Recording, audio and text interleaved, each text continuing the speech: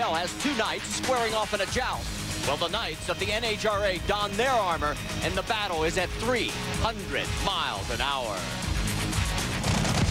2001, Kenny and Brandon Bernstein made NHRA history, becoming the first father and son duo to score wins at a national event weekend. Today, Brandon looks to make history again at Las Vegas, trying to become the first top fuel rookie to win three in a row. Well, the Bud Prince is graduating to king status pretty fast. Take a look. He lost in round one to Corey McClenathan at Pomona, but has since won eight rounds in a row. Look who he's got in the first round. Corey McClenathan, and that's going to be our focus matchup. Take a look at the other matchups on the other side of the ladder. You can see the arrow indicates who has the lane choice. Time to go racing in Top Fuel. So can the Bud Prince win three in a row and set top fuel history? No rookie's ever accomplished that. And, you know, what's ironic about this, if you go back to the Pomona race where Corey took Brandon out, they are in the exact same qualifying positions. Brandon qualified fourth there, he's fourth here. Same story, Corey's number 13. Yeah, but and Corey struggled here big time. I mean, got in on the last run basically on his driving and spun the tires in the middle. Ran a 481. This car's definitely capable of running a 450. Brandon Bernstein knows that firsthand because he saw it in Pomona when he ran a 59 and took him out. So obviously they can't take him lightly. And just in case you weren't with us yesterday on qualifying, uh, Corey's uh, dad, Richard, was in a serious car crash a couple weeks ago, and he got great news just near the end of qualifying that dad is going to be coming home soon. He is doing much, much better. Richard, great news. Know, Marty, it's interesting to note that Brandon and Tim Richards took the left lane. In qualifying, they did not get down the track in the left lane. So obviously they saw something that they really liked in that lane obviously they're not blaming it for not going down the racetrack. They just feel that it was a tune-up and they uh, they picked that particular lane. Kind of uh, interesting.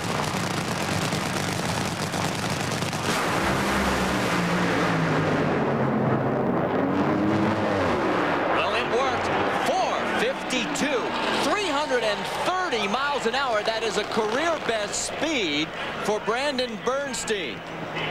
What a statement. I guess they figured out the left lane. What an incredible run as we go on board with Corey Mack and get ready to say bye-bye, Brandon.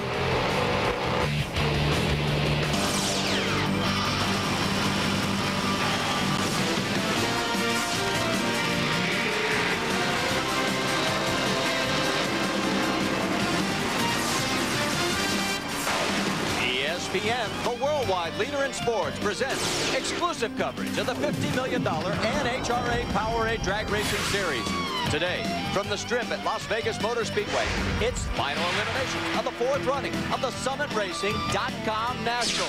You know, it took us eight weeks to run the first three races, but starting today, seven events in the next nine weeks. No more time to reload for opportunities lost. You better bring your A game starting now. Let's pick up action in round number one. Show you what happened in Top Fuel. The husband and wife team, second race in a row. John Smith, Rhonda Hartman Smith. John pitches the blower, and Rhonda smokes the tires. Rhonda gets the win with a 5.55 at 2.52. Then it's Doug Herbert in the left lane, taking out uh, David Grubnick. 481 at 284 for Doug. You saw Grubnick slowing to a 575. Darrell Russell with the new body. Goes 457, 319. Paul Romine not a factor at a 499. And then in the upset of the day so far, Melanie Troxel takes out Tony Schumacher in the Army at one of 469. Let's go back and show you what happened to Tony. The Army car just flat overpowers the race car. You saw Tony try to backpedal, get to recover. Unfortunately, it kept spinning the tires, and by then Melanie Troxel was long gone. Would bring us to David Baca and Jim Head. Baca really starting to make his presence felt. He's a little tardy off the line, but runs a 456 at 315 to outlast the 477 of Jim Head. And then Larry Dixon and Mike Strasburg, no contest. Larry goes 454, 325 miles an hour, and is in the second round. And then what about the number one qualifier, Doug Kalitta? Time in 40 years that the Kalitta Chrisman family has gone up side by side. Doug has some problems, 498, but he gets the round win and has lane choice over Rhonda Hartman Smith. Brandon Bernstein with the lane choice over Melanie Troxel, and then Larry Dixon and David Baca have lane choice on the other side. Let's check in with Bill. He's with Brandon Bernstein. Well, Brandon Bernstein qualified fourth here in Las Vegas this weekend with a best of 455 and just before the first round today, your tuner, Tim Richards, said to me, it's not going to be the same today as it was in qualifying. He was right. You went quicker.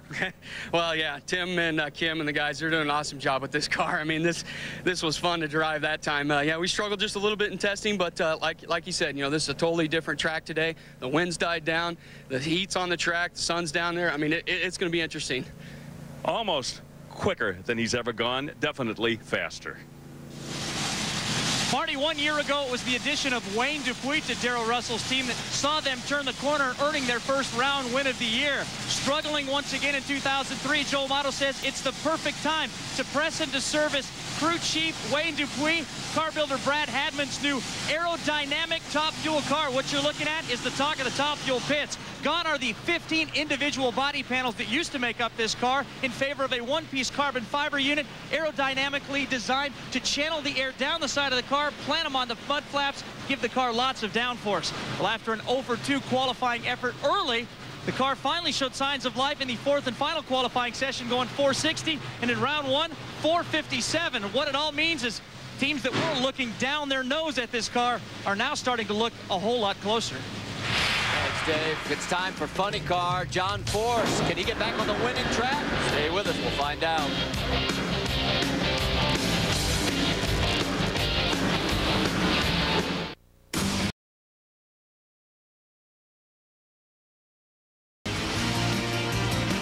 Today's Speed World event, final eliminations of the SummitRacing.com Nationals brought to you by Powerade. Summit Racing Equipment, celebrating 35 years of performance. And Suzuki, maker of innovative motorcycles and all-terrain vehicles.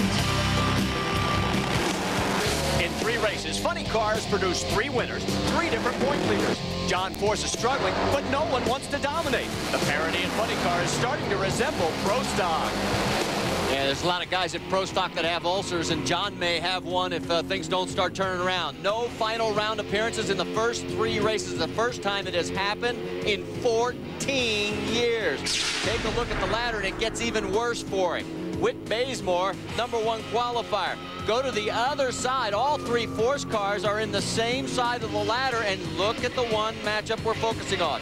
Tony Pedregon, John Force. Now, these guys met a total of five times last year. John was four and one, including the race here. But boy, what a difference a year makes. Boy, what a big difference, Marty. I mean, last year, Tony Pedregon had the performance advantage, but John still came away with wins at the last few races to win the Powerade Championship. Crew chiefs Austin Coyle and Bernie Fedderly knew they had to get some more performance out of that Mustang if they wanted to win another championship, but unfortunately, they've taken a little bit of a step backwards. They've been struggling trying to find that added performance, and let me tell you, they're going to need it if they want to get past Tony Pedregon in the first round. Through the cloud of smoke, the burnouts have been completed, and it's time to find out if John Force is going to start the ship in the opposite direction. Now, we talked a lot about that 1989 streak. The way it actually occurred, the first three races of that year, he went out in the first round, and then in the fourth race, went to the semifinals. You know, and we heard Austin Coyle on RPM today mention the fact that they've been having trouble with magnetos, fuel pumps, stuff just going wrong. So he feels that he does have a combination that that has the performance once he gets all those gremlins fixed. The problem is he didn't get it in qualifying, so now you got to try to find that baseline. You don't really have any information when you have all those problems on what to make the car do. But if anybody can figure it out and get a baseline in one run, it's that man right there. Austin Coyle as sharp as they come. Number one and number two in the championship chase last year.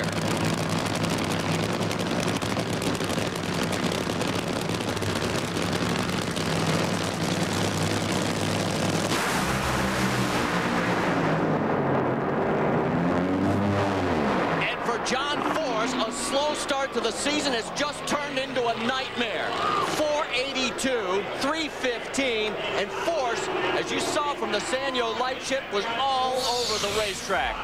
Boy, this is a big surprise. John Force had three hundredths of a second advantage. You see the cylinder out as soon as he left the starting line, moved the car out of the groove, then got into tire smoke. Look how sideways he got that car trying to chase Tony. John is not going to be a happy camper. Tommy Johnson loves the springtime in Las Vegas. He's coming up next as the rest of Funny Car.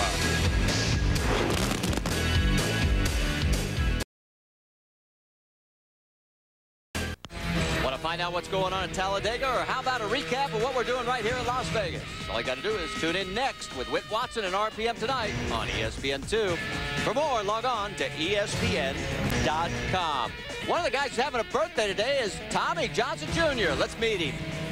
My name is Tommy Johnson Jr., and this is my fifth year in Funny Car. My childhood hero was Marvin Graham. In high school, probably, you know, everybody's making these career choices, and I'm thinking, well, what are you talking about? I've already made mine. My biggest moment in drag racing is yet to come. He's had some pretty good moments here at Las Vegas Motor Speedway, but only in the spring. Take a look, a winner and a runner-up, but in the fall races, both times he's been out of here in round number one. How did he do today in the opening stanza? Well, he was in the left lane against Bob Bodian from the Sanyo Lightship. Watch TJ go low for the round. 480, 321 miles an hour. Never a contest in that one. Then Del Worsham took care of Bob Bill Gilbertson just barely. A 486 to a 487. Both cars ran 315 miles an hour. Points leader, Gary Densham. Boy, he is laying down some numbers. 485, 321 miles an hour. Dale Creasy never a factor in this one. Number one qualifier, Whit Bazemore, took care of business with Jack Wyatt. 481, 323 miles an hour. First time Jack Wyatt's qualified in five years. It just didn't last long enough for him. Then it was Ron Capps and Johnny Gray. Capps goes 4.89 seconds at 314. Gray ain't going to get it done with a 528. Then it's the Pedregon brothers, Frank and Cruz. Cruz is going to have problems about half track. Frankie goes 487, 316 miles an hour to take the win. And then it's Scotty Cannon and Dean Skuza. And Cannon keeping the beat going. 497, 252. The only car to win and not run in the 480s. Lane choice goes to Bazemore and TJ on the left side. Then on the right side, it's Densham and Tony Pedregon. Let's check in with Parker. An unthinkable turn of events for 12-time Funny Car champion John Force, where for the third time in four events, he has failed to advance past the first round of eliminations. The crew, a little dazed, a little confused, especially considering that his two teammates, Gary Densham and Tony Pedregon, are first and third in the championships, and they are very much in this championship battle. Thanks, Parker. We've got to take a commercial break. When we come back, we'll take an up-close look at that man right there, our Powerade profile on Scott Geoffrion. Back here at round four of the NHRA Powerade Drag Racing Series, and the best view of today's racing action is from the Sanyo Lightship, flying overhead with the eye in the sky camera to bring us our beautiful shots of today's racing action. Glad to have you guys. Now, despite a terrible wreck this year in Phoenix, Scott Geoffrion is looking to return to his winning form. The longtime Pro Stock driver has already started turning heads, and he hopes that this is just the beginning.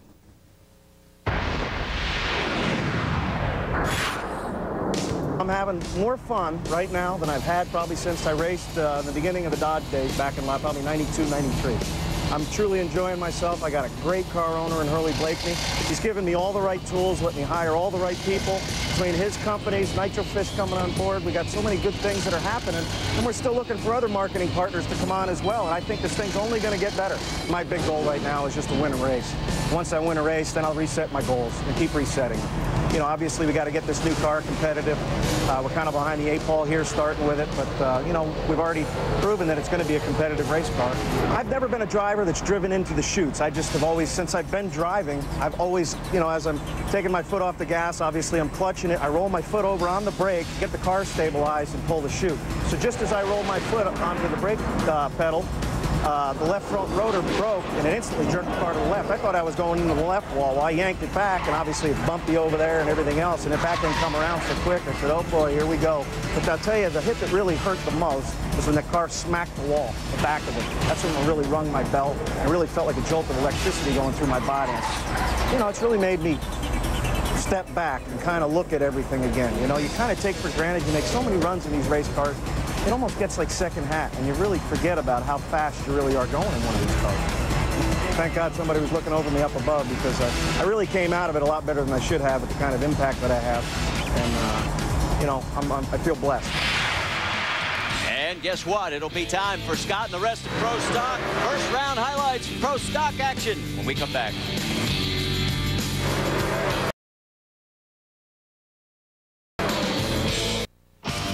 Houston, we're coming your way next week, and we don't have a problem. The O'Reilly Spring National Saturday qualifying, 10 o'clock Eastern on ESPN2, and then NHRA Today on Sunday at 11 a.m. Eastern, and final eliminations at 5 o'clock Eastern. For more, log on to ESPN.com. Time now for Pro Stock.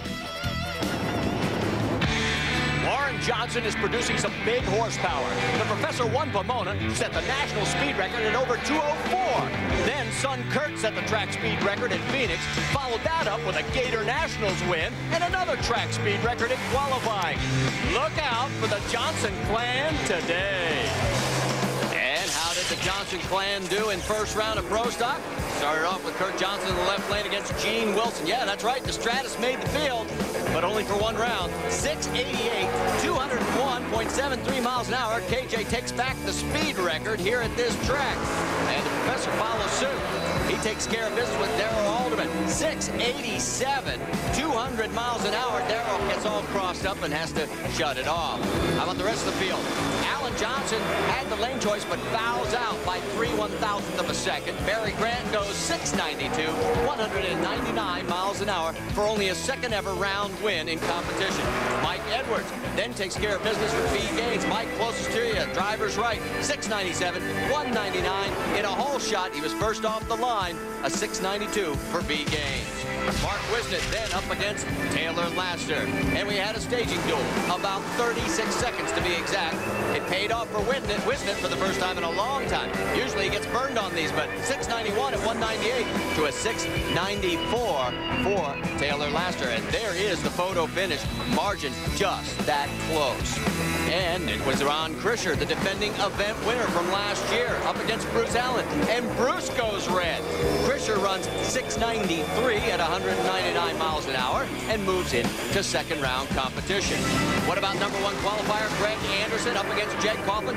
Jeg was off the line by four 100s, but a 687 at 201 miles an hour gives Greg Anderson the win over the defending series champion as we go on board.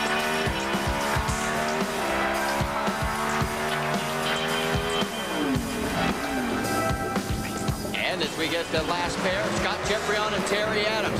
It's Scott going a 688 at 200 miles an hour as Terry had all kinds of problems and got out of the throttle. So as you take a look at the ladder, it has the lane choice going to Anderson and Warren Johnson on the left side, and then Kurt Johnson and Scott Geoffrion over on the right. Let's check in with Bill. He's at Scott Geoffrion's pit.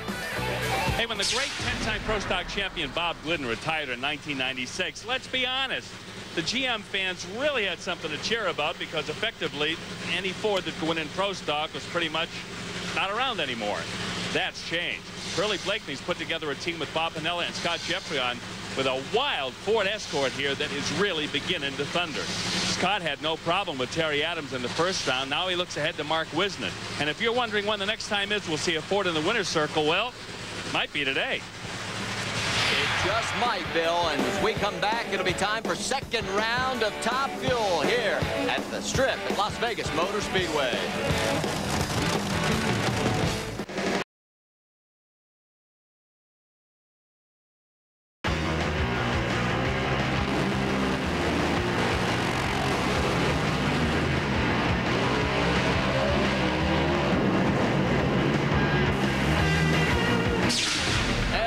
Ready for round two here at the Strip at Las Vegas Motor Speedway, and lane choices indicated by the arrow. Doug Kalitta, Brandon Bernstein on the left side, Larry Dixon, David Baca in the right. Let's talk about the wing and Top Fuel. Well, you want to keep these things stuck. There's limits on it. The maximum height from the ground is 90 inches. The total area of all elements, now this is in behind the front axle, is 1,500 square inches. You can conceivably put two canard wings in front of the engine, but you would have to shrink the rear wing so that you did not have more than a total of 1,500 square edge inches. And the trailing edge may not extend more than 50 inches behind the center of the rear axle. And even within those dimensions, they're still creating close to 8,000 pounds of downforce when they run over 330 miles per hour. And you don't want to try and hang on at that speed. You're looking at Rhonda Hartman-Smith, and uh, she's an aunt. We just found out that uh, brother Richard Hartman, son of Virgil, and his wife Tina. Tina gave birth to their third daughter. There's Virgil. He's a grandpa for the fifth time. And congratulations, granddad, and our best to the family. Now, let's talk about Doug Kalitta.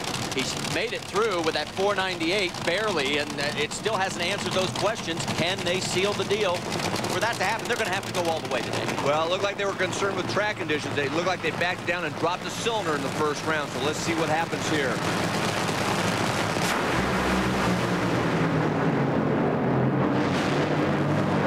Whoa, great race. Kalitta just gets by Rhonda. 466 to a 467, and what really was the margin, he was three one-hundredths quicker off the starting line. Boy, this was just a good old side-by-side -side drag race. Both had good numbers early. You see Doug Kalitta start to spin the tires before half track, slowed his eighth mile speed down about 20 miles an hour. He's only going 258 miles per hour. That's why he slowed from those big numbers that he was running in qualifying down to 466. But luckily enough, it was enough to get for him to get the win. Let's check in with Dave Reed. Quickly with Connie Kalitta, you dodged the bullet there. There's still a tricky car on race day. Yeah, it's working a little better, but racetrack is really treacherous right now. You mentioned the racetrack. I'm looking at a track temp right now of 106, guys. And we're looking at a replay of the Kid Rock machine as it was going down the track. And you can see just trying to get a little tire smoke there as uh, Doug is with Bill Stevens. Well, thank you, God. Yeah, I tell you, that was nice to get that run in. Uh, that's what we needed, a nice, uh, consistent run for the Mac Tools team, and uh, go to the next one, see how we can do. We're looking forward to it. Yeah, you know, they're not cocky or swaggering just yet. They're just lucky to be going to the semis, and they know it. Well, and Connie said something interesting. The track is starting to get tricky, and you talked about it uh, during the day uh, before we actually started the race, that if the temperature comes up, all bets are off. Yeah, and we saw that in qualifying when we saw like a 20, 30 degree change in the track temperature. A lot of cars struggled to get down the racetrack during that session, and Doug Kalitta was one of those cars that had a problem. So I think the first round, the track conditions were very good, but as the track gets warmer, it's going to get much touchier. And with this Goodyear tire that they came out with last year, the thing is you have to really back it down considerably more than before when the track conditions do change. Saw from all those statistics how close this matchup is. David Baca really starting to impress some people since uh, the last time out at Gainesville. And of course, you just saw Darrell Russell's new body. Not his, but the race cars. yeah, you know, we talked about the wings. We wind tunneled the wings to get those numbers. We haven't done a whole lot in the body work, and they feel that there's a lot there to be had, to be gained. And, uh, you know, I, I, hats off for, to Joe Amato and Wayne Dupuis to try to do something a little bit different here.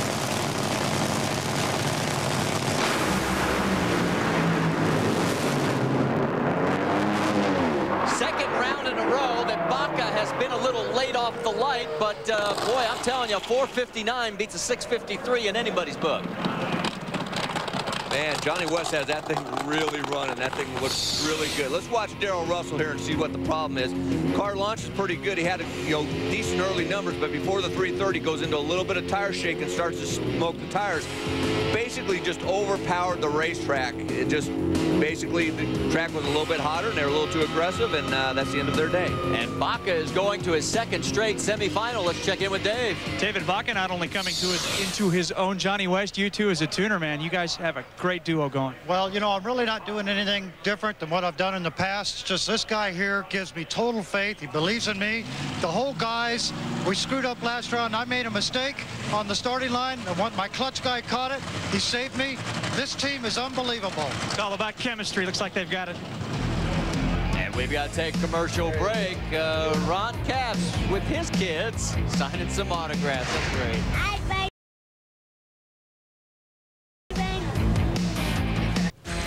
Coming up next, right after we get done, RPM tonight on ESPN2. We'll have all the latest news from Talladega and right here at Las Vegas. For more, log on to ESPN.com. You're looking at the defending Powerade champion and event winner. Larry Dixon, he'll be over in the left lane. Doug Herbert in the right lane. And this is the 19th time they've met. 18 times prior, Larry's won 16 of them. You know, there's, there's probably not a whole lot of love lost between Dick LaHaye and Doug Herbert because Dick LaHaye was uh, Doug Herbert's crew chief a while back. They didn't part the best of company, but uh, they're on the best of terms anyway. But I'll tell you what, you know, Doug, Doug Herbert's looked pretty good, but Larry Dixon's going to be awfully tough. Let's go to Bill quickly. David, last year you brought the car out with Corey McClenathan driving. You guys were the sensation of the first half of the season. It's happening all over again with you in the car. Uh, deja vu, huh, Bill? I tell you what, this is awesome. I tell you what, the American Racing People Waterloo Special, this crew is awesome. This old heap of pipe, it's a bad hombre. So's he. I'll tell you what, it's fun to watch the new blood coming into the sport. And Baca and his team, they're serious.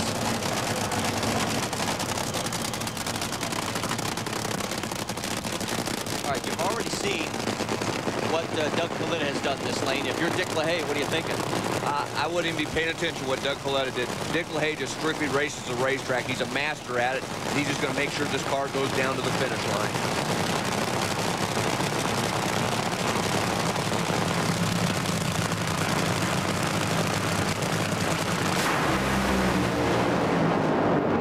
No contest.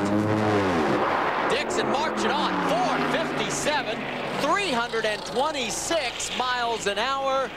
Look out, world, because this car right now, man, are they uh, consistent and bad. Let's check in with Dave Rieff. Well, Marty, our next pair will feature Brandon Bernstein and Melanie Troxel. And the man you're looking at right here's a guy who gave them, well, some of their first experiences in an A-fuel car back in the sportsman days. Car owner to the stars. It's Jerry Darien. You got to have a lot of pride watching these two guys getting at it in the nitro classes today. Absolutely. If I'm not at the races, I'm sitting home in front of the television watching every move they make, all tear So, uh, He's dividing his time, too. He's got a sportsman driver, Morgan Lucas, is on his way to a uh, semifinal, at least here at Vegas this weekend. Thanks, Dave. Uh, they have done some magnificent work over their careers. Jerry Darien, Ken Meadows, and boy, I, I, it's a. I know you can't ask him this because he wouldn't give you the, an answer. Who do you root for in this one if you're if you're Jerry? Yeah, I think he's just a proud teacher of all his students, you know, just to see them be able to graduate up to the, the, top, the top classes and do as well as they've been doing. Both, both these drivers are very, very good.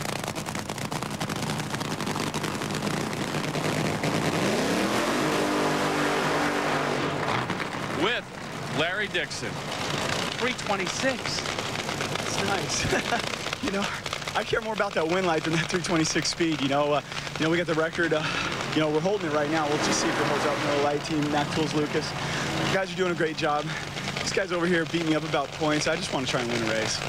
And you know, Mike Down, was really impressive to me, and it may seem like a non sequitur, but they keep going quick and they never blow off their stuff. I mean, they don't break anything, run after run. You know, Dick LaHaye's a master. I mean, he's a perfectionist. He looks at every little part of that race car, and he wants that thing to not only run quick and fast, but he also wants it not to hurt the parts because he knows that's going to allow him to, to make more rounds. And, uh, you know, they've done a great job. As we uh, focus our attention back on this matchup, you know, Melanie uh, actually raced Kenny Bernstein once in Top Fuel. That was uh, back in Dallas in 2000, and she won that race against that man right there. And she went on to her only final. That was with the Don Schumacher's team. Yeah, she ran a, a big-time speed at that race, too, so she knows how to go fast. And she's a good driver, and the cars has gotten a little bit better in qualifying. I mean, they struggled a little bit. They came back ran some 470s and ran that, that good 469 in the first round. Obviously, you can't take anybody lightly in this business, and uh, Brandon and Tim Richards definitely can't take her lightly. Well, uh, keep an eye on the reaction times also, because Melanie has got to cut a great like That's where she's going to have to get some help.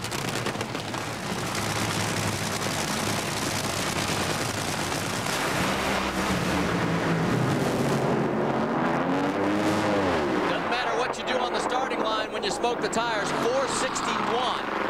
So for the first time in uh, this day, Brandon has slowed down a little bit, at least on the ET side, still going 322 miles an hour.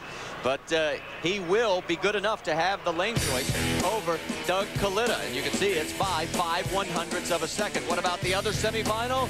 Not a question there. By two one hundredths, Larry Dixon low for the round. And when we come back, it'll be time for Funny Cars second round. Stay with us here at the Strip, Las Vegas Motor Speedway.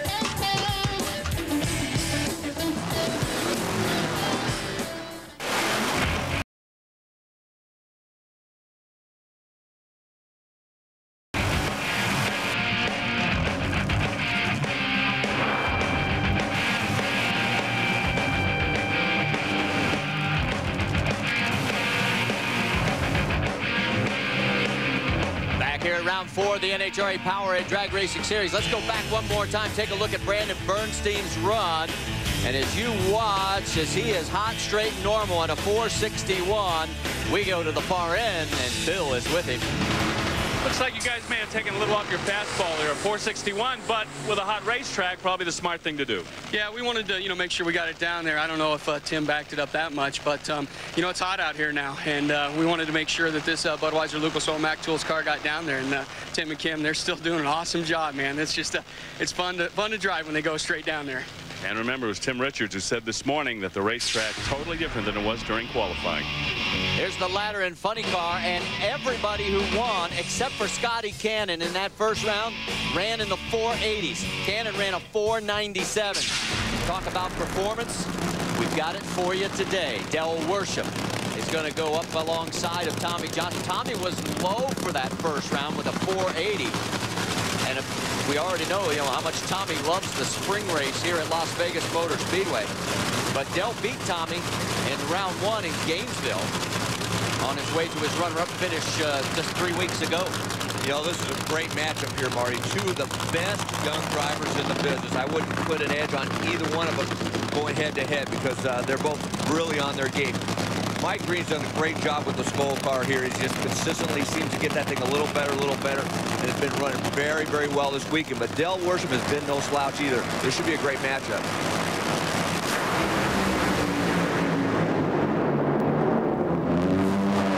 TJ marching on. You saw from the Sanyo Lightship at half track, Del Worsham struck the hides and faded into the distance. 488, 310 miles an hour. Boy, it just seems like the left lane is the lane of choice now. Del got a little farther down track than some of the top fuel cars we saw, but right before half track, that thing started spinning the tires. Let's watch it again.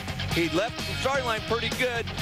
All the eight cylinders are, are lit, but he's, he's, he made it through that transition point where you usually have trouble. Then right there, that thing smoked the tires very hard, and that's kind of unusual that far down the racetrack. That just tells me they're really going to have to slow them cars down in the middle of the racetrack in the right lane. Dave is with that man right there, Don Prudhomme. Don Prudhomme putting on the earplugs. We're going to let these cars do a quick burnout and then come back with us, guys. Okay, that's easy enough. And uh, if you've never been to one of our races, you can barely hear yourself think, let alone talking to anyone else. So that's why it's probably wise of us not to blast poor Dave and Snake as we get ready for Whit Bazemore and Scotty Cannon. There is Don Schumacher, the team owner, and both cars are in this race belong to him.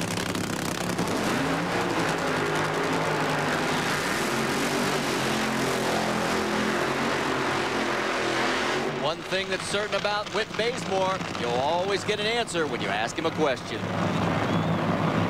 My name is Whit Bazemore. I'm uh, 39.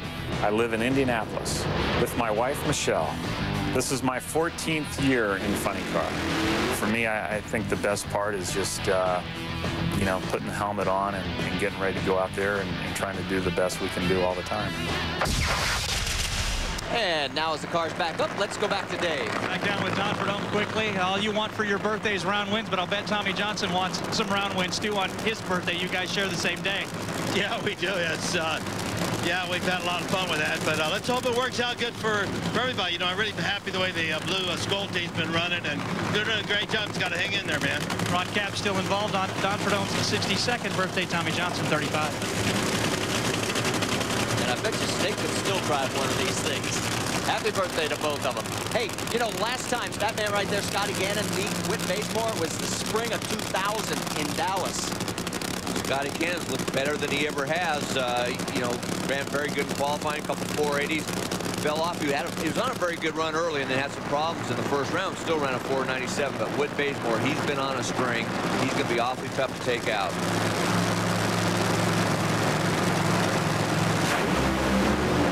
Oh! Pitches the blower at the far end. Cannon popped his right at the starting line. This was an expensive run for Schumacher Racing. A 523 Whit's in to the semifinals, but he will not have lane choice. Boy, let's see if we can tell what happened here. I mean, both cars spun the tires. Luckily for Whit, he spun farther down the track. You're going to see Scotty Cannon smoke the tires instantly and watch this thing blows the burst panel, just basically over the engine, pulls it off the side, make sure there's no oil on the track. Whit Bazemore, on the other hand, he went down track. He had decent runs or, or uh, numbers early, but then he gets over towards the wall, a little bit out of the groove, and then when it does make that move, way over by the wall, which contributed even more tire spin. But luckily enough for him, he got to the finish line first. So far, the left lane has been the dominant lane, and that's what's going to be on Whit's mind because he knows now he will not have lane choice, and you can see the problem. Yeah, you definitely want a little bit of fire under there too, but you definitely want to be able to keep these cars in the group. Watch Cannon. Boy, that thing just basically lit up. RPM just comes up so quick on these 6,000 horsepower monsters, and it just basically tags about, knocks that foot first hash right off the right off the front of the car. Uh, Dave, uh, you got Don Schumacher? I do. Let's find out what's on the mind of Don Schumacher, team owner, after you watch uh, what happened right there. Well, what's going on in the next round? We needed that to happen so we can keep going forward in this race. It was a shame that both of the cars took the blowers off of them. Uh, Scotty's real early and Whit's down towards the finish line, got spinning the tires down there and just didn't want to give up on it. So those things happen. Things are hard to swallow, but it's the nature of the beast. Well, Tommy Johnson Jr. will race Witt Bazemore in the semifinal. And you got lane choice, but you got to like seeing Whit having a problem before you have to run him. Oh, it's a tough car for sure, Whit, and those guys really got their act together, and it's a number one qualifier. So nice to see him have a little problem. We had a little problem of our own and still come out on top with that one. So uh, we know what was wrong with ours. We'll fix it, come back the next round, be right back in the low 80s, and we're going to need to be to be to be with. And remember, Tommy has been in the 480s almost since they unloaded the car. Thanks, Bill. You know, we talked about the expense for Don Schumacher. Uh, don't forget about Friday night when Gary Scelzi took about $60,000 worth of body and motor parts right there. He was okay, but ended up not qualifying for the race. In fact, Gary is scheduled to join us in the semifinals. Yeah, that thing really launched a supercharger off it there. Took the body with it. Look how high that thing got off the ground. Tires turned to the right as Gary was trying to correct because he was out of the groove. Same thing we saw happen to Whit. Got her over towards the wall a little bit. Caused some tire smoke. But I know Don Schumacher, as long as he wins the race, he doesn't care how many parts they break. There's Whit's run as we go to commercial.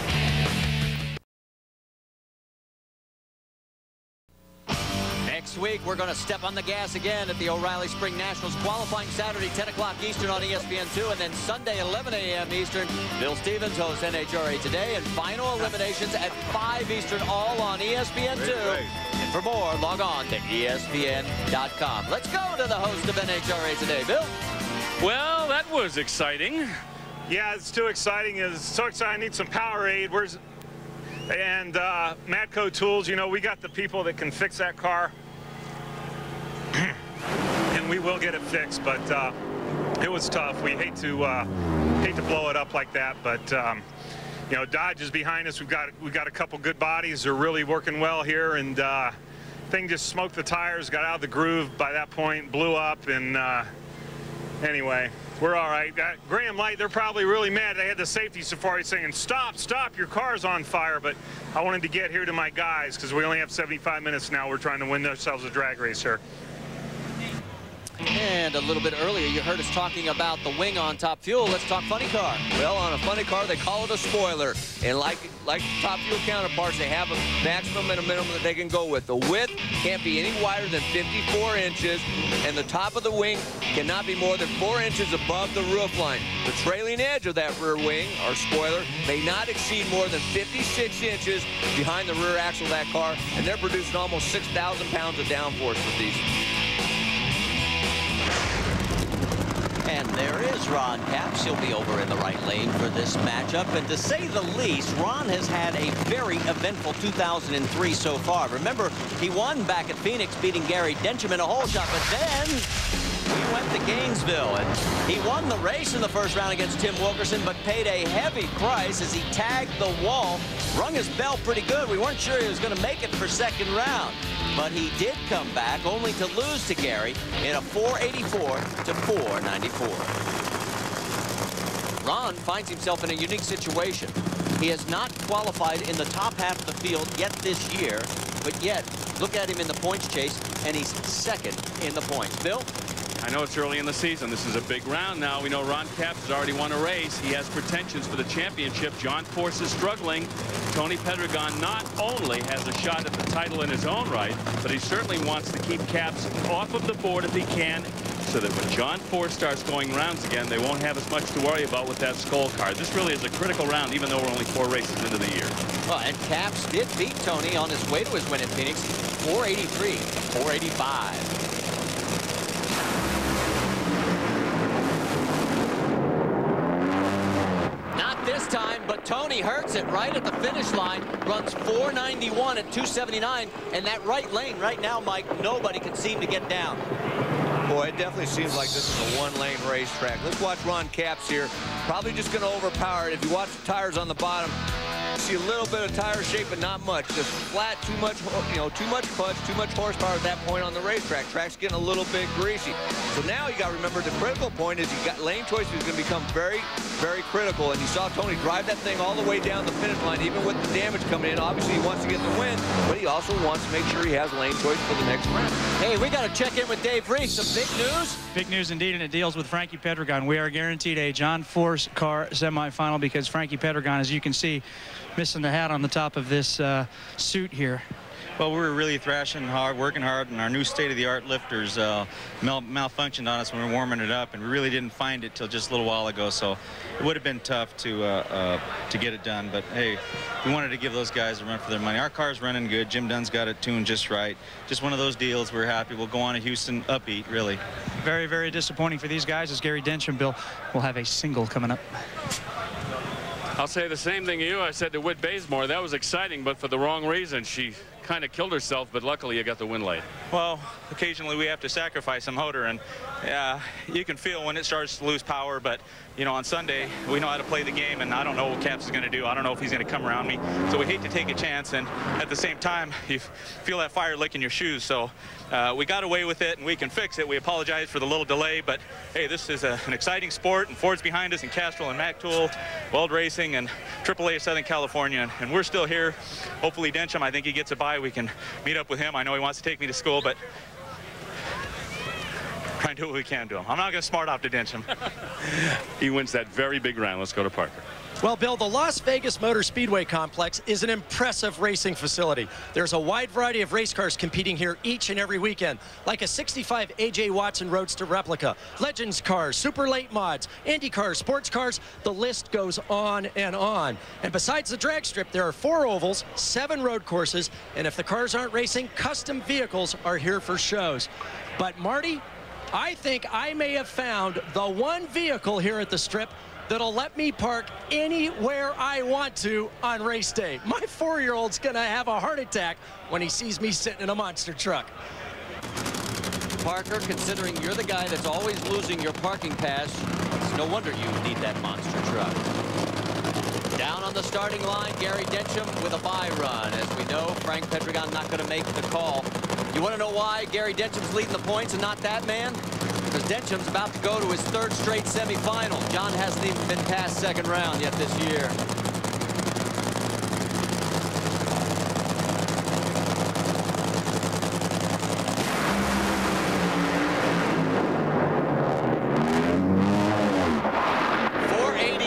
at 308 miles an hour is going to give Gary lane choice over Tony Pedregon. And lane choice, as we have seen so far today, has been absolutely critical. The left lane has been like a rail. The right lane's been like a skating rink. We've got to take commercial break. When we come back, it'll be time for the Factory Hot Rods Pro Stop coming your way from the Strip in Las Vegas.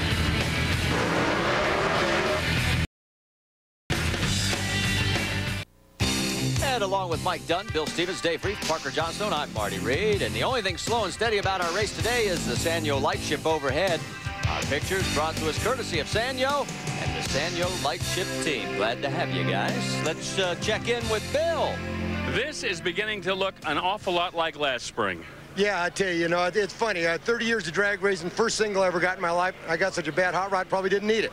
That was the first single? First single, 30 plus years. I keep thinking, you know, how come somebody doesn't ever break against me? I get a single. But hey, I'll tell you what, this Auto Club Ford is running good. Jimmy Prock's doing a great job. And, you know, we won here last year. Sure be great to repeat, but, uh, you know, there's no easy ducks out here.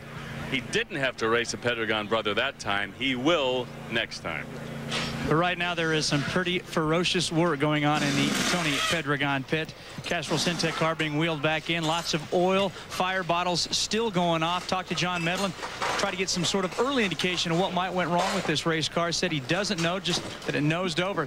They've taken out the computer information. He is deep inside the engineering center, Castrol Technology Center, looking at that data right now. But as you can see, there's uh, plenty of hot pieces and parts and no answers yet as to what happened to Tony Pedregon's car. Those arms and elbows flying right now. Take a look at Pro Stock as we get ready for second round action. The arrow indicates who has the lane choice. And there you see on the right side. And we take a look at the specs in Pro Stock. Well, unlike their fuel counterparts, they're not trying to create any downforce, but they have to run a spoiler that's mandated by the NHRA. Now, the maximum width is 14 inches off the back of the car. The minimum is 12 inches. They can run a wicker off of the end of the off the trailing edge, which is actually an, a lip off the trailing edge of that spoiler. It has to be a minimum of a quarter inch high and cannot be over one inch. So we get ready now to go uh, racing in Pro Stock with uh, that man right there, Kurt Johnson, in the left lane. And if we go back to Gainesville and show you exactly what happened there, he took care of business against Jeg Coughlin, running a 682 to Jeg's 684, and he has never lost to Jeg in a final. There was the margin, just how close it was at the finish line. Kurt Johnson just has an amazing car. You know, as competitive as Pro Stock is, it's, it's kind of surprising to see two cars that are, are, very dominant. That's Kurt Johnson. The other one would be Greg Anderson. But, you know, Kurt is just, since he's come out with his 03 Cavalier, that's just real. I mean, they had the horsepower. Then with the 03 Cavalier Gainesville, it just seems to add to it and make that car just that much tougher. And there's Mike Edwards, the man who lost to Kurt back at Gainesville in round number one. He'd like to get a little vengeance here. Bill? And you know, Mike, to pick up on your point, we had Kurt on NHRA today a few weeks ago, and he said this race car right now is the most adjustable car he's ever had. It responds terrifically to every change they make to it, and that's so important in this class.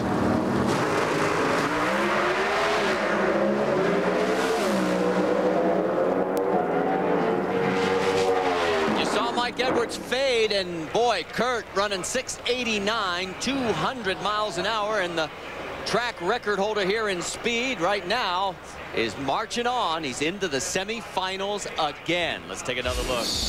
Boy, not too much wrong with this run. In the heat of the day, this thing's right down the middle of that racetrack. Hardly any movement whatsoever. And that's what you want, especially when you're looking for thousandths of a second. When they keep it that straight down the groove, that's a pretty run. Getting ready for Mark Wisnick closest to you and Scott Geoffrion. But uh, first, let's go back into the pits, get an update on Whit Bazemore's shape.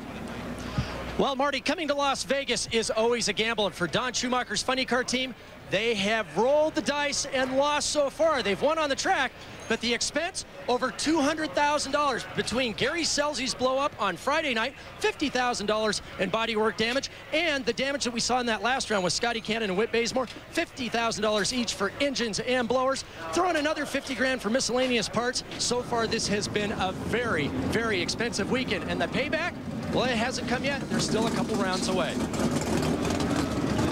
Thanks, Parker. Back out on the line. Scott Geoffrion could, uh, well, give Ford a little boost in their racing program. The last time Ford went to a semifinal five years ago, Robert Patrick back in Dallas in 1998. He just might do it. Mark Wisden in the other lane, trying to deny the Nitro Fish car.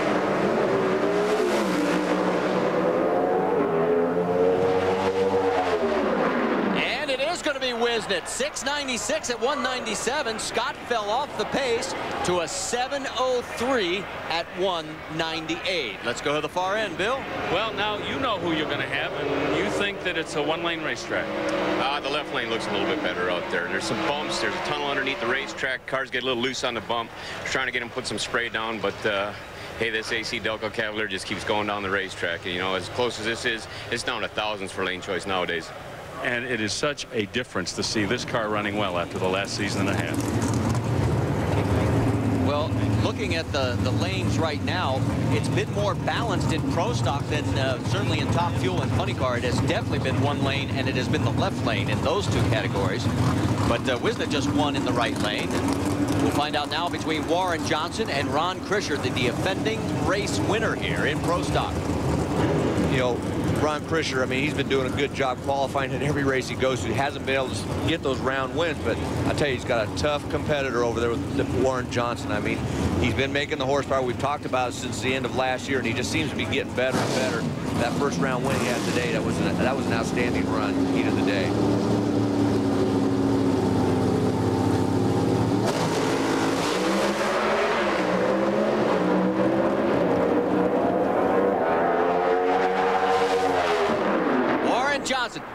690 at 200 miles an hour, a 6.97 at 198 for Ron Krisher. So our first event defending winner is out of here. Let's go to check in with Bill.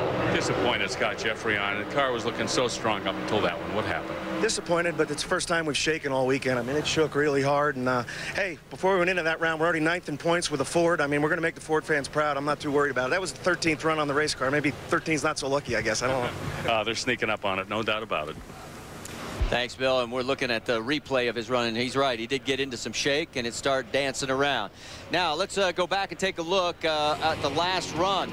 At the 60-foot mark, it was uh, Ron Krisher, but from half-track on, all the professor.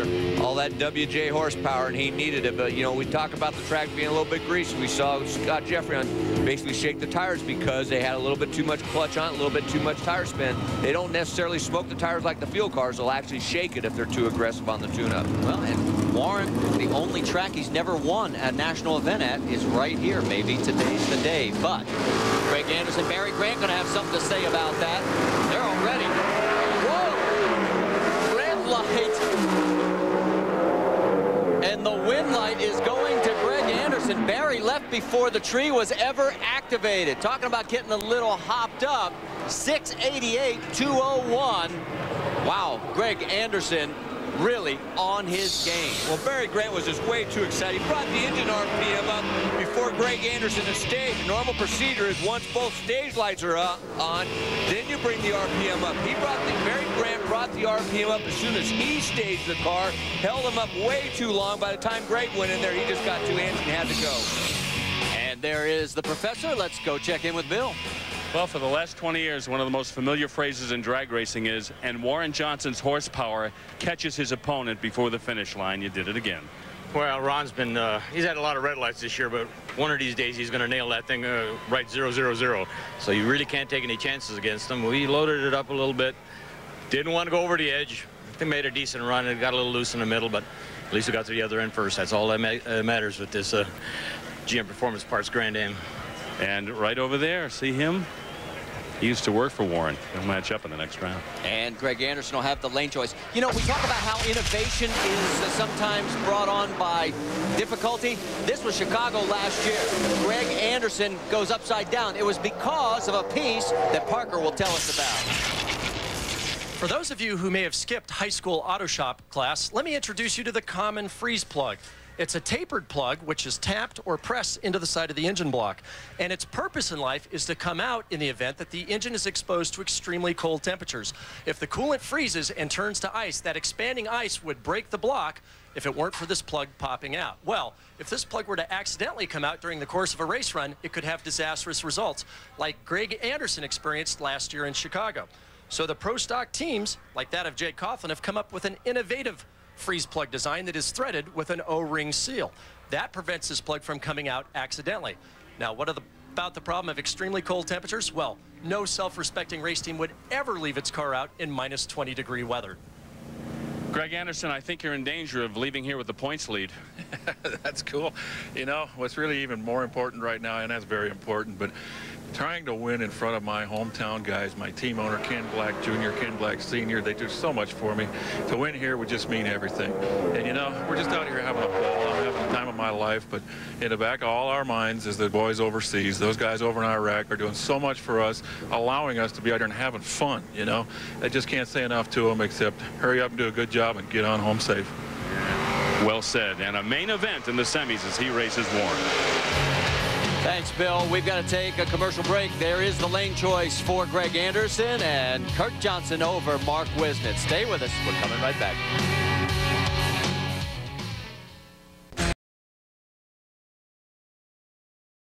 Don't forget to join Whit Watson when we get done here. Coming up next, RPM tonight, all the latest in racing news on ESPN2. For more, log on to ESPN.com.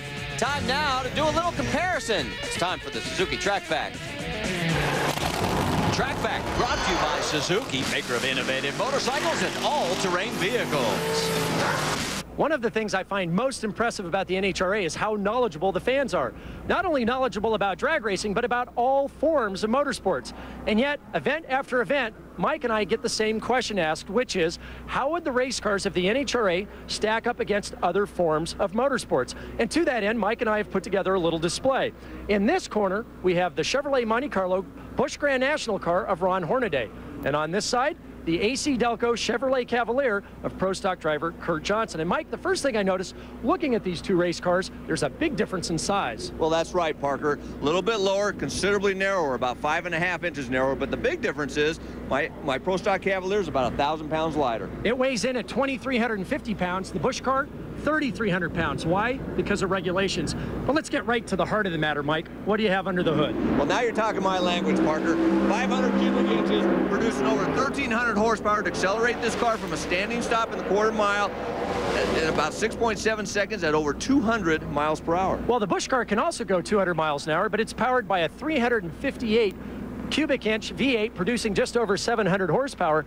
But other differences that are very obvious here, Mike, are aerodynamics. Well, we talked about how small the Cavalier is, that's so it can punch through the, air much quicker. Narrow, we try to keep the drag to a minimum, a little bit of downforce that, so that it will accelerate the car down the racetrack quicker and faster. Well, the Busch car has other concerns. It has to slow down, accelerate, and more importantly, corner every single lap. And a Busch driver has to run in traffic. So downforce is much more important than just minimizing drag. You can see there's a big difference in the tires as well. Back tire on the Pro Stock car, much bigger, but the front tire, it's much smaller than the Busch car. Well, that's because of my Pro Stock Cavalier. We don't have to worry about turning left. Hopefully, after at the end of the run, you're just turning off the racetrack after it's slowed to about 40, 30 or 40 miles per hour and make a nice, easy get off. So if you and I pulled up these two cars side by side at the quarter mile, what would happen?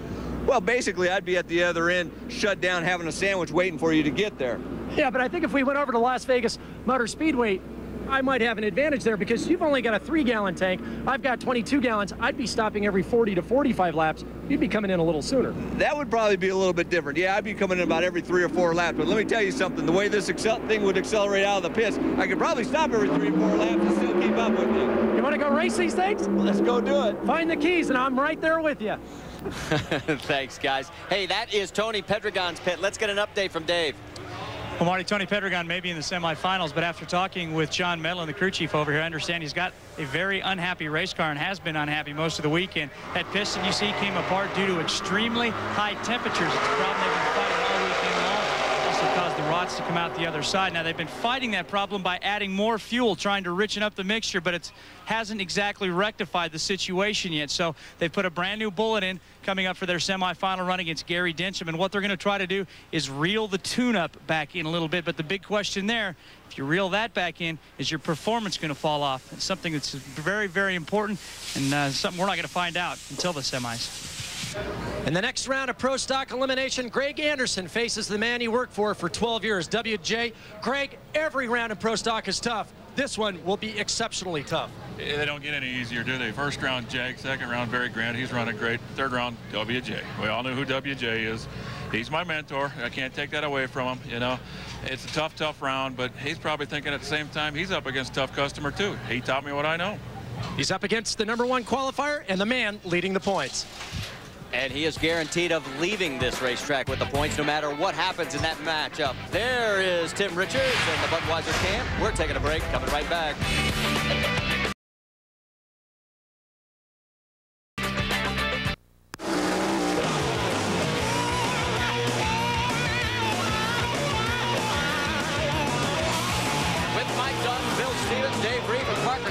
I'm Marty Reid. We're glad you're with us because we're getting ready for semifinal action. First up is Top Fuel. And who's it going to be going to the final? Will it be Larry Dixon, David Baca going to his first, Doug Kalitta, or Brandon Bernstein trying to go for three in a row as a rookie? And there is B squared. As he is backing up in that left lane. And boy, right now, lane choice seems to be critical. Joining us in the booth is three-time Top Fuel champion Gary Scelzi. And uh, there is the Brandon Bernstein fans up in the Budweiser suite. And uh, Gary, want to welcome you to the booth. And uh, sorry you're here, but uh, and not out there. Yeah, it's pretty tough sitting here watching, but you guys are always gracious to me and let me have something to do during the day. Let's talk about uh, Doug Kalitta for a second because this is his first three races. Do you realize that if he wins this round, Mike, he will have equaled his entire round victory from the first three events, and that's what we've been talking about all day long. Well, it's going to be awfully tough for him to win this round. He's in the bad lane. It's definitely a definite dis disadvantage being in that right-hand lane. Rhonda Hartman-Smith was the only one that got down that lane, ran a 467 against this man, Doug Kalitta, in the previous round. But now he's up against Brandon Bernstein. Tim Richards is as good as anybody at reading a racetrack. He has a good lane. But Doug Kalitta's got a tough task ahead of him. See the reaction times. Brandon's first, best was in the second round. And look at the speed, 330 backed up by a 322.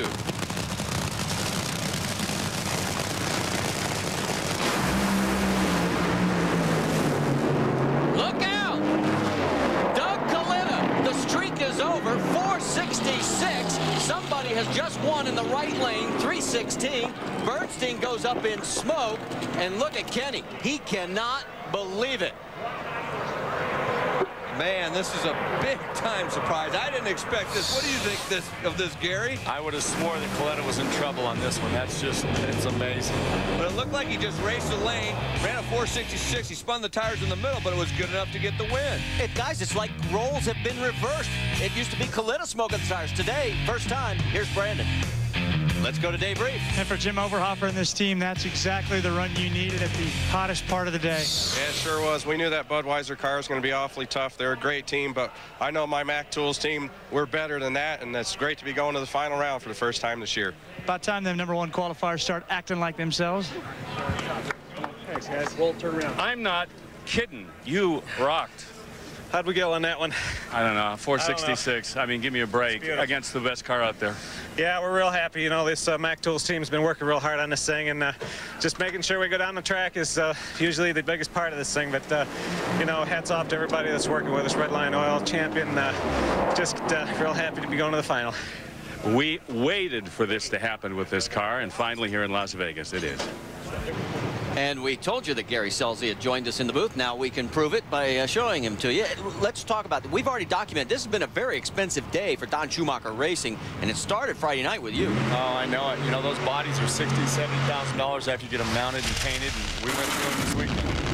Well, this is uh, the video. Have you seen this yet? Yeah, I um, I saw our tape of it, and uh, it was pretty brutal. You don't like to watch those things too much. It, uh, it's just one of those things. You had to pedal it to get it off the wall. The car was running great, actually matching Bazemore's qualifying time, and then kaboom. All right, let's go back to what's happening on the track because Larry Dixon is now trying to make it to his 50th career final. That's right, the big 5-0. But David Baca in the other lane wants to make it to his first ever career top fuel final. You know, one of the interesting statistics, all four families in this final, and Louis Bloom dug this one up, all four have won the U.S. Nationals. That's pretty impressive, and it shows you how the generations keep going on in this sport.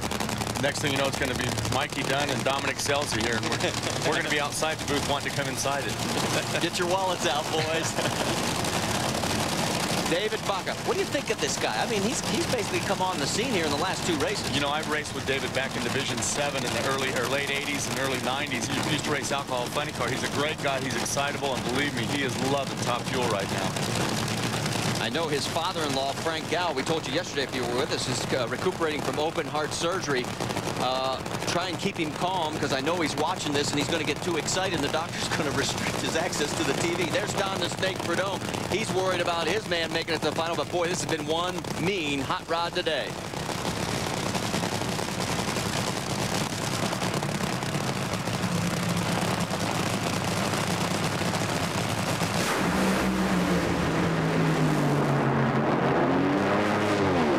And another 457 in the heat, 320 miles an hour. That's going to guarantee him lane choice. Let's go to the far end, Bill.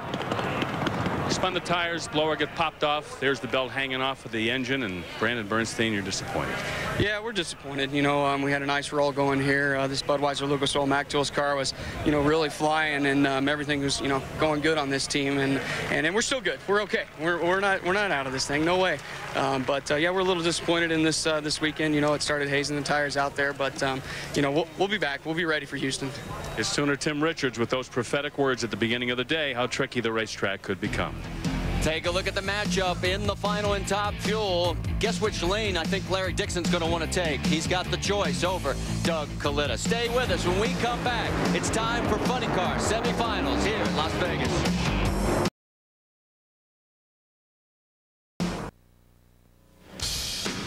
Here at Las Vegas Motor Speedway at the Strip, and some of the fans with, wow, he's got a few buttons, getting all their souvenirs put together and trying to win a few prizes. Time now for the semifinals in Funny Car. Will it be Whit Bazemore, Tommy Johnson Jr. going for a birthday present, Gary Densham trying to stretch the points lead, or Tony Pedregon going to the finals? Well, Force Camp is coming to the line. It will be TJ, or I should say Tony Pedregon and Gary Densham lining up side by side. Now, we'll try and explain this for you. No driver has beaten John Force in 2003 in the points higher than Densham and Tony Pedregon. And the guy who has beaten him has had to come up against a John Force car. So here is Tony Pedregon took John out in the first round, and they haven't been able to win. So technically, on paper, Gary Densham should win this race.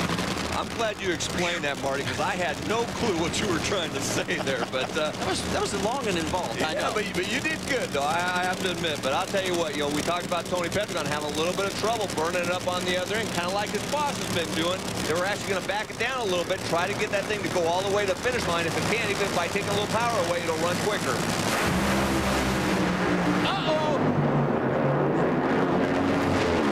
Well, forget about that old statistic because Tony Pedregon is closing the gap on the points leader. He has already moved into second place, and he may come out of this race with the points lead. Dave. John Force, the good news, you got one car going on. The bad news, you got one car in the trailer. Well, we've had a Mustang uh, in every final round, and uh, I'm proud of these teams, the way they're working together. And uh, sometimes that just happens, but uh, they're both doing a great job, and they're both up there good in the points, and that's important to this team. Take another look at this. This is a, the left lane. All of a sudden, we've seen two cars go up in smoke, and the right lane, all of a sudden, guys are getting down. I'm really amazed at Jimmy Prock. He's had been so consistent, no tire smoke, and that car's run nothing but 80s. That, that's a shocker. So Tony going to his 42nd career final. Let's go to Bill. Larry Dixon won both Las Vegas races last year. And it looks like you're on pace, perhaps, to do it again today. Oh, I don't know. You just take it one run at a time and see how the you know the chips fall. The competition's different every time you go up there. Uh, Baca car, they've been running strong all weekend. You can't take them lightly. We went up there and tried to do our thing. It's kind of tricky right now. This is the hottest track temperature we've had, and you know, so it's kind of like you need to run quick, but you got to have enough finesse, not give it away. So uh, Dick LaHaie was able to get it done with the Miller Lite car, and we'll just go on to the final, see what happens. It's going to be an amazing final round. A car that's lived in the 450s all day, running against the guy who's been struggling to stay in the 460s. Well, as we go back towards the starting line, the smoke beginning to clear. Tommy Johnson will be in the left lane. He's got the lane choice. He's put Whit Bazemore over on the right side.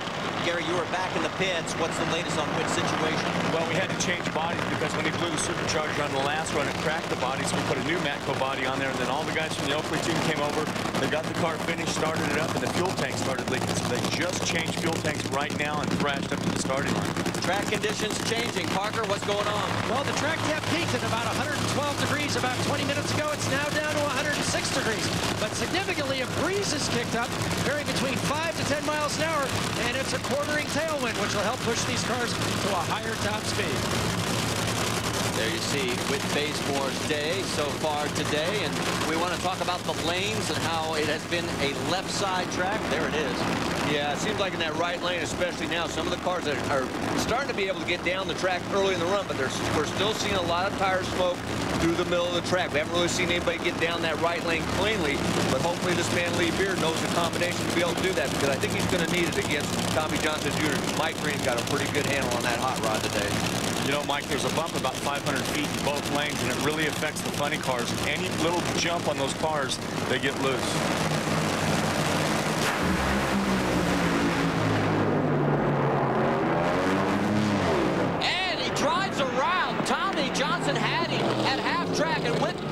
Comes back with a 489, 319, denying TJ his third consecutive final appearance here at the spring race at Las Vegas. Whoa, from the light shift, you can see this one. Man, it was all over for Whit. He actually got the jump off the starting line, but TJ started really pulling away early in the run. But Whit Bazemore just kept that thing hooked up. Not very much tire spin. Lee Beard, I think, had the perfect tune-up for that lane to be able to run a 489. Tommy Johnson, if he had had problems, though, on the other end, I think it was all over for Whit. Take a look at the incrementals, and it'll show you First off the line was Whit Bazemore, and all the way to half track, then it was TJ. But at the stripe, Whit with a 489 and two wins out of the right lane in funny car. Who would have believed it? And there is the safety safari at the end of the run. And yeah, there are some flames shooting out of TJ's car, and he is bailing. Bill? With Tony Pedregon as the number one qualifier in the final round. Well, it's awful tough out here. Toast to Densham, AAA colors, Powerade. Um, I know it's slowed down in the final, but it's scrubbing a lot of speed off at half track, and that's the first time I think we have had to deal with the right lane, and we just need to make the right adjustments. Uh, I think the team showed a lot of resilience and being able to, we had a lot of damage, power plant, supercharger, injector, body, uh, and we actually made a good recovery, so we're not real concerned about what the other team's performance is. We know we're capable of, and uh, off to the final. And remember last year how consistent they were. This year, it's been a different story, especially this weekend. Well, one statistic, the number one qualifier in either Top Fuel or Funny Car has yet to win this year, so maybe that's something going for Tony Pedregon. want to thank you for stopping by. I know you guys will get it put back together and be ready to go by next week in Houston. Well, it looks a lot better this right now for Bazemore. The Oakley team will be fine. We got bodies. We're okay. Yeah, as long as he wins, they won't care about writing all those checks, will they? Well, his wallet's going to hurt a little bit anyway. hey, we got to take commercial break. Stay with us. we got a lot more still coming your way from here. Round four, the NHRA Powerade Drag Racing Series.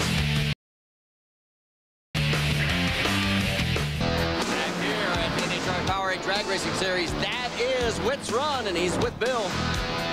After that 523 in the second round, must feel pretty good to know you get down the racetrack. I tell you what, you know, those guys, uh, Matco Tools team and the help of Oakley and the Army and everybody, Don Schumacher Racing, if that isn't the sign of a championship caliber team right there, to, to go through what I put them through and then to come back and fix that Dodge up and come back the way we did, then I don't know what is, because it's incredible. It's just a, you know, I don't get choked up that often, but when I saw what those the effort those guys are making, so Whit Bazemore, so I can win this drag race, it uh, it makes me feel very very good, and I'm I'm very excited. Guys did outstanding.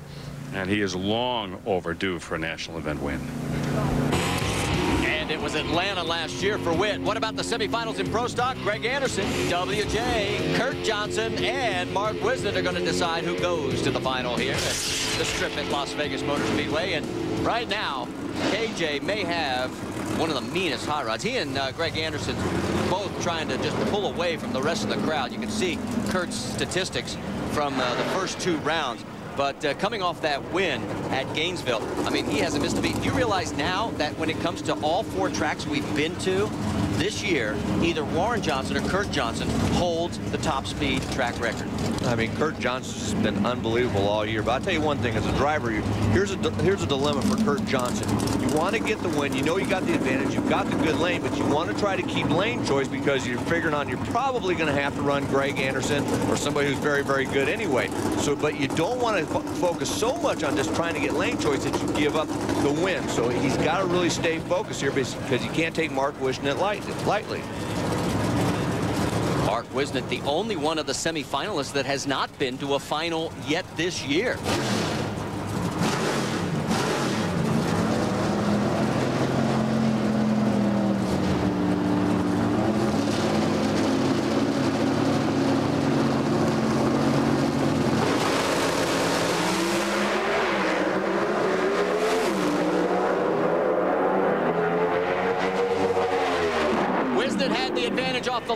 Didn't have enough grunt at the far end. Look at this. 689, 201. Mark goes 695, and only 197. That's the big difference. That horsepower that this Johnson clan is cranking out has been the difference. They are getting the back end nailed. Boy, and they needed it this time because Mark had three hundredths of a second off the starting line. You see a little bit of an advantage there, and then right, right down the track, though, look at the top end. KJ just came on strong and a great pass 689 Now he's going to hope that holds up for lane choice in the final. So KJ in his 42nd career final and second straight this year. And is he going to uh, talk about the margin? About half a car length right there. And that's what horsepower will do for you. Will it be Greg Anderson, number one in the points, or will it be his father, Warren Johnson, the professor? You know, the thing is, with the difference between the lanes, you don't see the Pro Stocks go out there and smoke the tires like the fuel cars. But the thing is, is they'll actually get more tire spin if the track isn't as good. So they have to adjust with gearing and clutch. So basically, even though they can get the car down the track, they know that that lane may be three or four hundredths of a second slower than the left lane. But you still have to race the lane. You got to try to run as quick as you can in that lane and just let the chips fall where they may. Like Kurt Johnson, both of these two have won events so far this year of the first three races. And it was Greg beating Warren back at Gainesville in round two. And there is wife Arlene filming, videotaping actually, the run by the professor.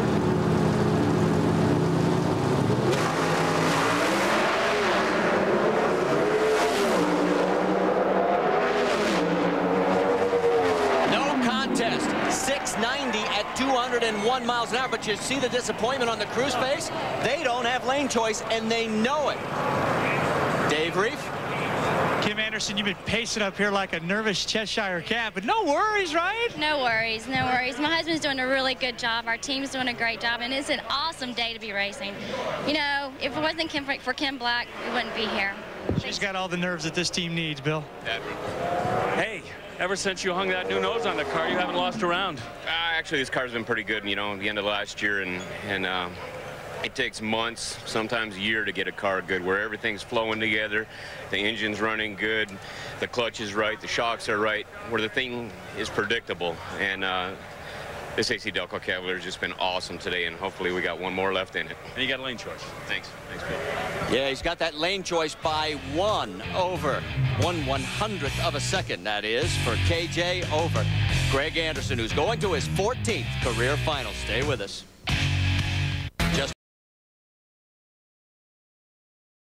A reminder that coming up next, Whit Watson will recap the day in motorsports on RPM tonight right here on ESPN2. All you got to do for more is log on to ESPN.com. Hey, let's put a period on Pro Stock. Bills at the far end with Greg. I can't remember the last time I saw the crew of a winning pro stock driver look disappointed. You lost lane choice. Unfortunately, it looks like so much today, but you never know. Maybe a God will send a cloud in front, a cloud in front of that sunshine, and that lane will come around. But it's been pretty bad all afternoon. But you never know. My car has really been good in either lane through qualifying. Maybe my car's the exception to the rule. Maybe it'll be fine.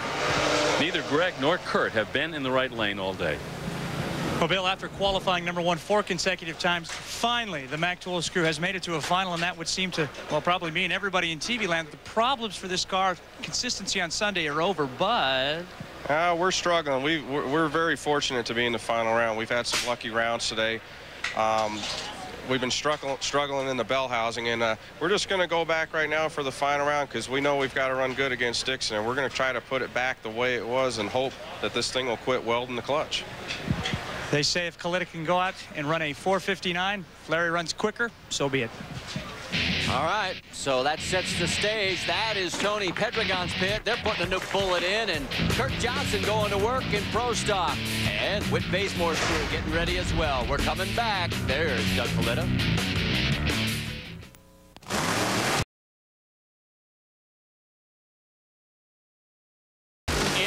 For the finals, and all three number one qualifiers have made it to the final round, but no number one has won yet this year. And the last time a number one qualifier won all three divisions, Topeka 2000, Gary Scelzi, John Force, and Jeg Coughlin.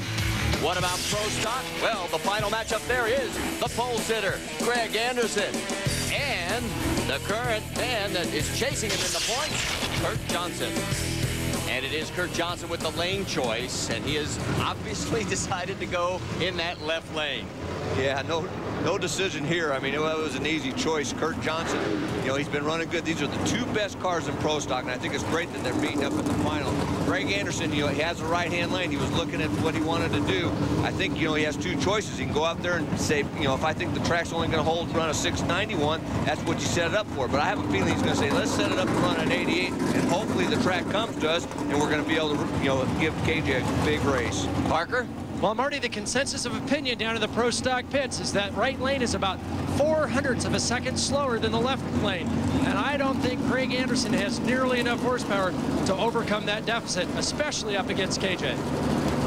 Sun beginning to set, but yet not enough shadow over that left lane like we saw yesterday in qualifying. So it's about time we'll find out which lane is going to hold up. Pro stock final.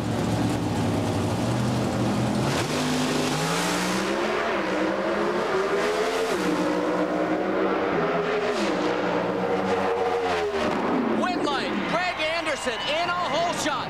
He had four 100s in the bank off the line. KJ goes 689, but Greg goes slower at 690, but gets to the line first because of his better reaction time, picking up his second win this year, sixth of his career. Boy, this was just a great job by Greg Anderson all the way around. 016 on the reaction time, 16 thousandths from perfect, and then I think he had the perfect tune-up for that right-hand lane. A 690 in those greasy conditions. We saw a lot of guys struggle out there. That is a great pass between his driving and the tune-up. That guy definitely deserved the win. And he is the first pole sitter to win here in 2003. Bill? Greg Anderson, before that run, Parker Johnstone said that everybody in the pro stock pits thought the right lane was 400 slower and you didn't have enough horsepower to win. And in my head, I said, yeah, but he'll probably make it up on the tree. You won on a hole shot. Oh, my God, awesome. Thank you. I haven't cut a light all day. I just somehow was able to focus that time. Thank you, thank you, thank you, Jesus, you let me do it. Man, what a tough race. These two cars, are, they've been the two most awesome cars all weekend, and it was only fitting that two be in the final. This Pontiac and that Chevrolet have been the two most dominant cars all weekend, and it was only right, but that was a hell of a drag race. Thank you, Lord. Thank you. The points leader prevails. And that's the first time he has beaten Kurt Johnson yeah. in five matchups. Let's go to Dave. Kurt Johnson joining me now. Not the outcome you want, but still, man, this car is certainly coming around, and that's the thing I think you got to take out of here. Well, it's close racing altogether, you know. What are you going to say? Everybody goes up there, throws the dice, shot, and, you know, when it comes down to the tree, it's that's where it was at. And, and uh, I was just a little bit late today, but, uh, you know, we had our weekend last weekend, and you're not going to win all of these, and, uh, hey, we'll be back. Let's take a look at the points championship chase because Greg Anderson now leads by 63 over KJ. Warren is 101 back, and you see all the way through fourth and fifth place. Time now for Funny Car. Who's it going to be? Will it be Whit Bazemore picking up career win number 13? Or will it be Tony Pedregon cashing in for the 21st time in his Funny Car career? And it will be Whit Bazemore with the lane choice going in the left lane. Parker? Well, Marty, for the first time today, Whit Bazemore had a normal turnaround. Not the case for Tony P. After that last run, they had a cracked body and a cracked crank. They put in a new engine, fixed the bodywork. But the thing that's mystifying Dickie Venables and John Medlen is that the setup during the course of today has changed completely. They're running a lot more fuel in that engine than they ever have at any time in the past. John Medlen just kind of shrugged his shoulders and said, I hope this works. The last time these two met in a funny car final was Reading last year. Tony won it in a hole shot, 482 to 481. You heard him talk about wanting to put more fuel into the motor. That makes more horsepower, trying to keep that thing from burning up towards the other end. The problem is, with more horsepower, you also run the, the uh, risk of smoking the tires.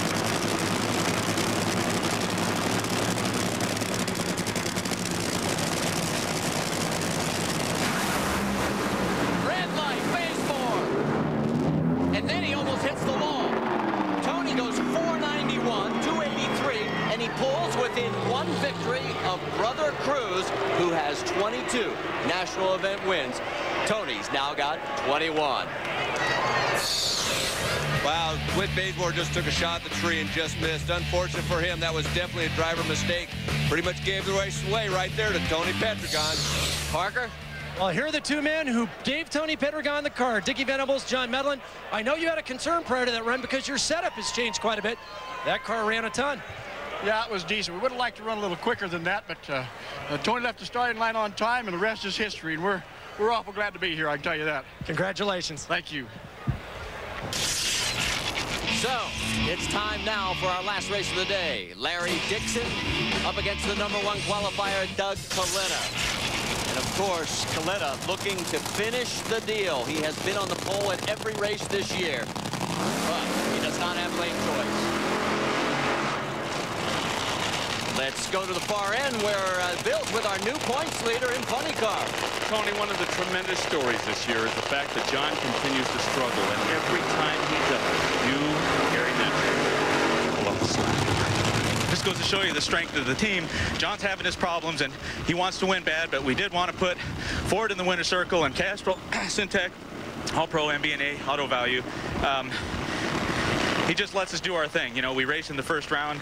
Uh, remembered what happened here last year, but right now we're a little stronger car. He's going to test like heck tomorrow, and um, these guys did a good job because we had a lot of part failure today, and we sure tested all the parts. Everything, the best stuff we put on this car Goodyear, and uh, guys did a good job. And, and the end result is is this trophy right here. We're up against a tough team, and that's human error. I know what it's like. That's why I'm not yelling because I feel for him. But it's a good day for uh, Team Castrol, no doubt. And, and he's referring to in the fall race last year. He lost to John Force in the final right. Thanks, Bill. Back to the uh, race at hand. These guys have met in the final three times prior. Larry has won two of them. And earlier, we heard uh, Jim Oberhofer talking about welding the clutch for some new fans. What's that mean? Well, they're working with their clutch program, and what, the, what you usually want to do is get that clutch locked up about half track, 600 feet down the track. If you get the clutch too hot, it actually welds and hooks up about four or 500 feet. The track's good, it's okay, but if you see marginal condition, then it wants to smoke the tires in the middle of the track, and they're going to have to get away from doing that if they're going to want to win this race against Larry Dixon.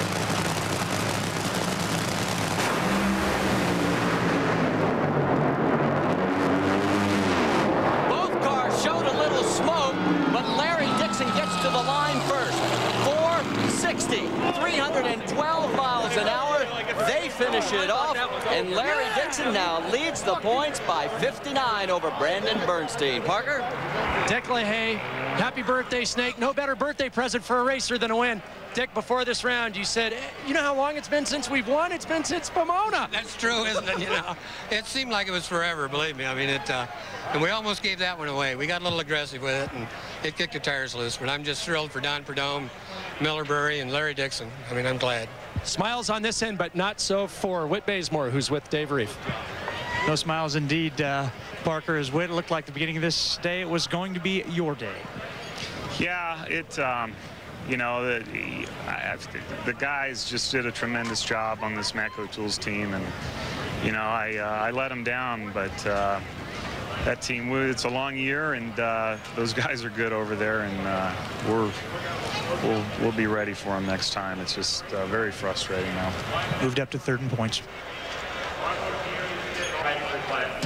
That's right, Dave. In fact, let's show you the uh, top five. Tony Pedregon now leads Gary Densham by 25. Whit is third. Ron Capps, Del Worsham round out that top five in Funny Car. Hey, let's talk to the man who just tied Cory McClenathan for full-time active win list. With number 27, Bill. Yeah, Larry Dixon is just describing to Doug Kalitta what that run was all about, and Larry, three straight here at the straight. Oh, it's uh, a tribute to Dick LaHaie and everybody on the Miller Lite team. They did a phenomenal job. You know, earlier this year and even even now, I'm still not happy with my driving. It's getting better every race.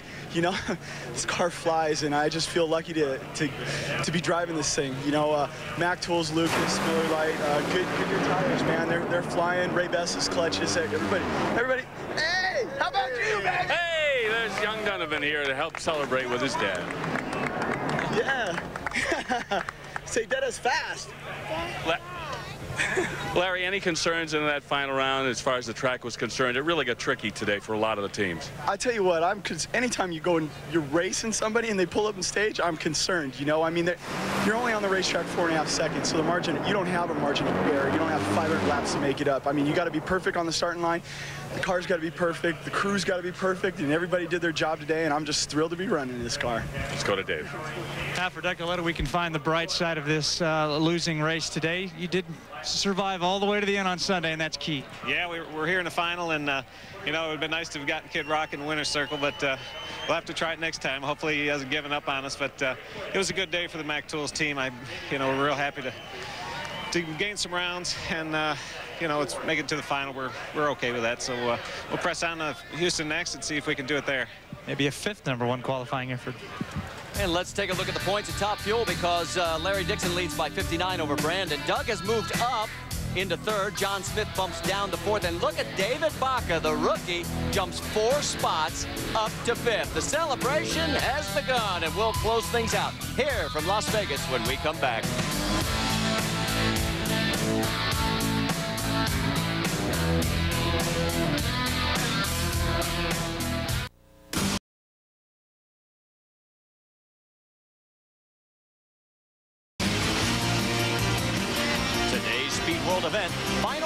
Eliminations of the SummitRacing.com Nationals brought to you by Powerade. Summit Racing Equipment, celebrating 35 years of performance. And Dell, flexible enterprise systems that are easy to buy, easy to own, easy as Dell. And before we say so long, we'll show you next week's schedule from the O'Reilly Spring Nationals. Jot down all those times. Mike, I want to bring you in for a final thought. Marty, you got to look at Team Force. You, it's obvious that John Force is not happy, but the saving grace is that one of his teammates seems to be able to pick up the slack and either you'll get to the final and normally win the races. We saw Tony Pedregon do today. But look at the competition. Whit Bazemore threw one away in the final round. What does that got to do to, the, to that team when they come in with such high hopes this season? Well, that's going to do it for us. We'll see you next week from Houston over in Baytown. For Mike Dunn, Bill Stevens, Dave Rieff, and Parker Johnstone, I'm Marty Reid. Thanks so much for joining us here on round four of the NHRA Powerade Drag Racing Series. RPM tonight is coming up next with Whit Watson. This has been a presentation of ESPN, the worldwide leader in sports. For more, log on to ESPN.com. So long, everybody. We'll see you next week from Houston.